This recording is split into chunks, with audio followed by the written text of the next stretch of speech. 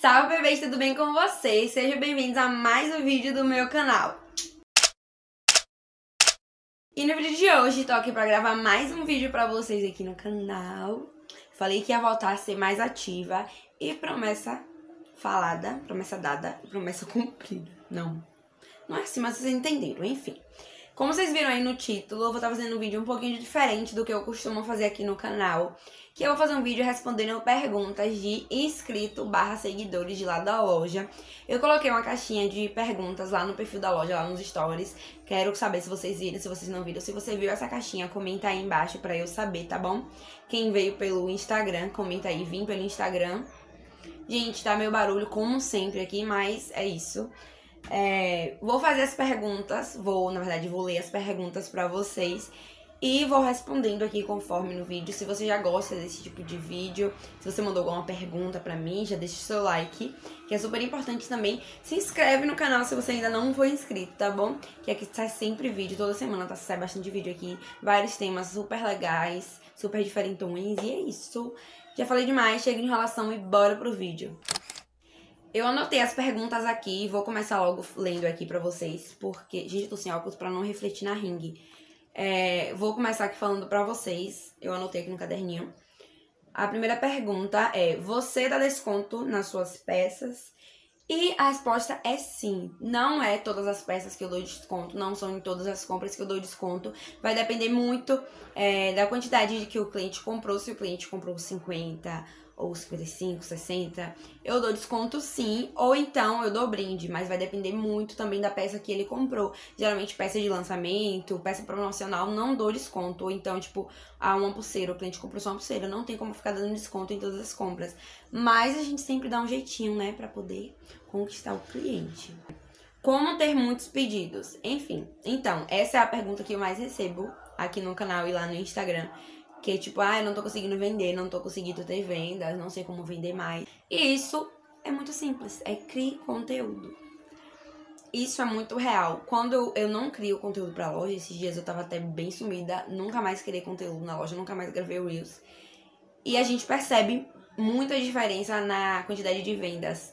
O resultado, quando a gente faz Reels, a gente posta stories, a gente aparece nos stories a diferença é surreal, a gente percebe, consegue perceber que a loja alavanca assim, ó, disparado quando eu posto muito conteúdo na loja. Então, assim, quem não, quem não é visto não é lembrado. Então, você tem que estar sempre ali nos stories, no feed, no Reels, em todo lugar que você puder aparecer, você tem que estar tá criando conteúdo no TikTok, que é uma rede social que está sendo super usada. Então é isso, gente. Tem que criar conteúdo, tem que engajar, tem que ter esforço, tem que tirar fotos boas, porque uma coisa leva a outra. E não adianta postar foto de produto, porque Instagram não é, não é catálogo. Só foto de produto não vai vender. Então, você tem que fazer post, como usar aquele produto, por que comprar aquele produto na sua loja, na sua marca. Então, isso tudo agrega valor à sua peça e faz com que as pessoas tenham interesse em comprar na sua loja. Bom, terceira pergunta: tem o fluxo de vendas bom? Essa pergunta também é relativa. Quando eu posto muito conteúdo na loja, eu tenho um grande retorno. Consigo ter uma quantidade de vendas ok. Então, o segredo, como sempre digo, é postar conteúdo. Quando eu não posto conteúdo, fico sumida mesmo. As vendas caem bastante. E isso é normal, isso é é, consequência, né, da falta de postagem, da falta de empenho. Então, assim, isso depende muito da quantidade de postagem que eu faço. Se eu apareço nos stories, se eu faço é, reels, então é relativo. Como foi no começo da loja? Então, o começo foi como é o começo de toda a loja. Caótico. Não tem como você começar uma loja logo assim e dar logo certo de cara. Apesar de eu ter feito uma divulgação antes com antecedência, fiz contagem regressiva, então meus amigos já foram postando nos stories também. Acabou gerando expectativa, eu já falei isso aqui com vocês também.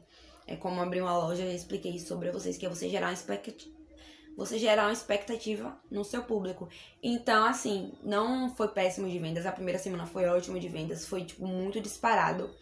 Mas depois do que aconteceu, eu não consegui repor estoque logo, então as vendas acabaram caindo na próxima semana, porque eu não consegui manter aquela fidelidade dos clientes, porque eu ainda não conhecia meu público direito, eu não sabia nada, nada, nada, nada do que eu sei hoje em dia. Eu sei muito pouco ainda, mas comparado ao que eu sabia antes, Tipo, sabia bem menos. Então, foi complicado, obviamente, como todo começo de loja é, é um processo mais de adaptação mesmo, porque você tem que estar tá ali, estar tá conhecendo o público, você tem que conhecer seu nicho e saber o que, é que as pessoas querem. Então, sim, o começo é um pouco difícil e não tem como fugir disso. Então, foi um pouquinho difícil, sim. Como faço para minha loja crescer no YouTube? Tinha uma pergunta bem diferente, achei válida trazer aqui para vocês, porque tinha muitas perguntas iguais. E assim, no YouTube, é, o YouTube é muito relativo. Pode ser que você continue ali uns três anos postando um vídeo e seu vídeo, seu canal nunca cresça.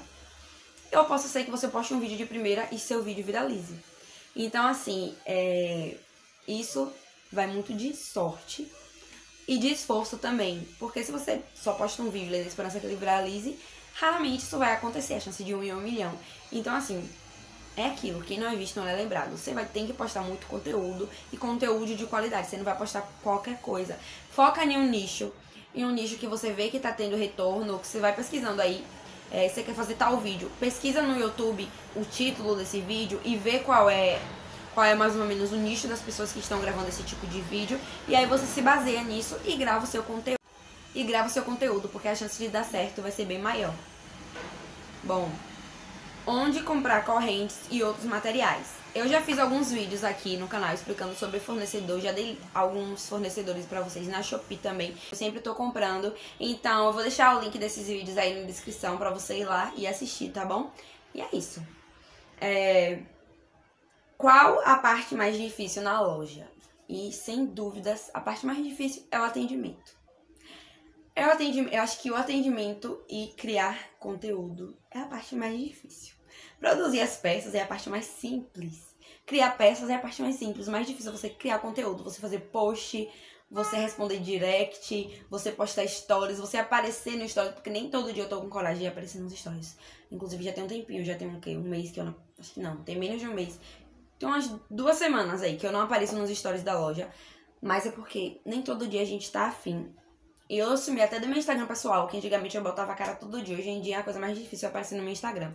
Mas enfim, é muito difícil atender, atender direct, atender WhatsApp, porque você fica ali, a pessoa pergunta o preço de uma coisa, pergunta o preço de outra, pergunta o preço de outra coisa, e acaba que não compra, aí você fica tipo, meu Deus, tô perdendo tempo, que não sei o quê.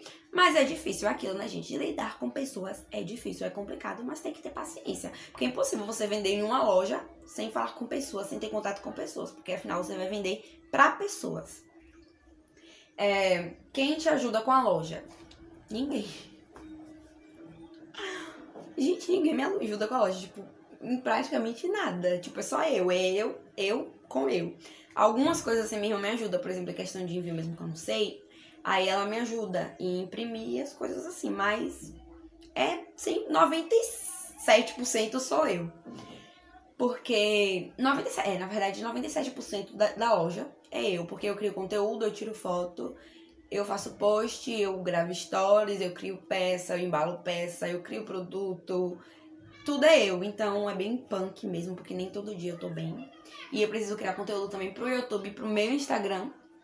Então é difícil conciliar tudo, mas eu tô tentando, né? A gente vai tentando, vai dando um jeito, empurrando aí e se virando como é que dá pra gente, como dá pra gente fazer. Já teve algum prejuízo com alguma encomenda? O que, que vocês acham?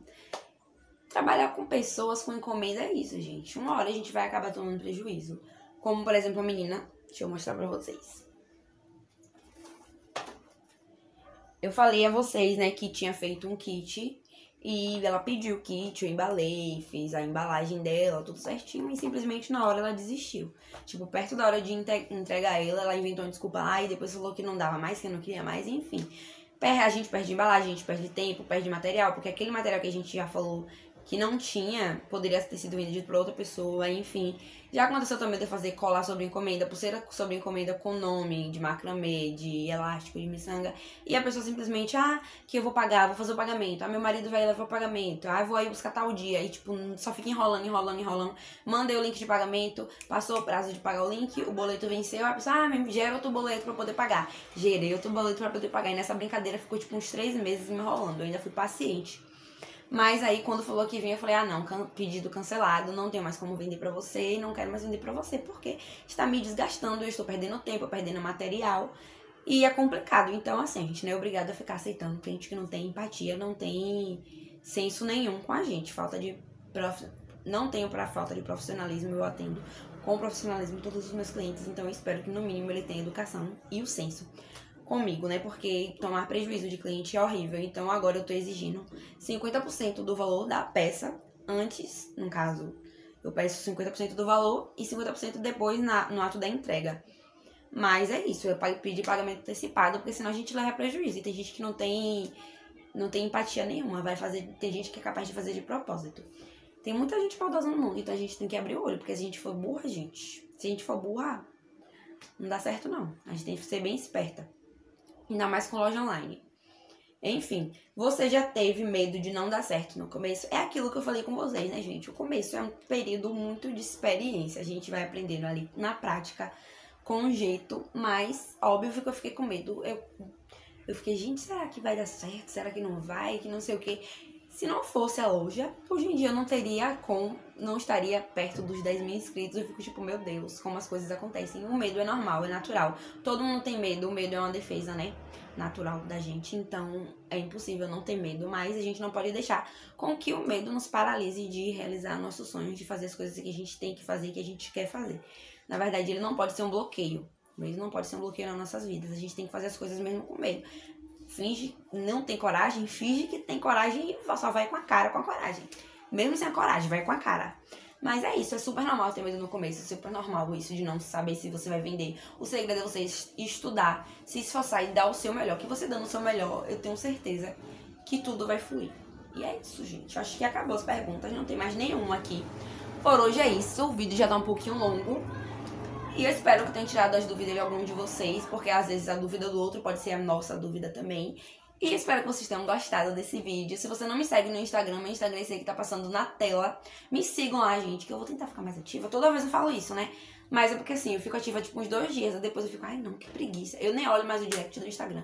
E eu tenho que olhar, porque muitos de vocês me mandam mensagem lá, mas eu sempre tô respondendo assim que dá. e é isso, gente. Espero que vocês tenham gostado do vídeo. Lembrando que o link dos vídeos que eu falei tá aí na descrição, tá? E o link da minha loja também pra você ir lá seguir, me acompanhar. Se você ainda não conhece minha loja, Manev Story. E, e é isso. Espero que vocês tenham gostado. Um beijo e até o próximo vídeo.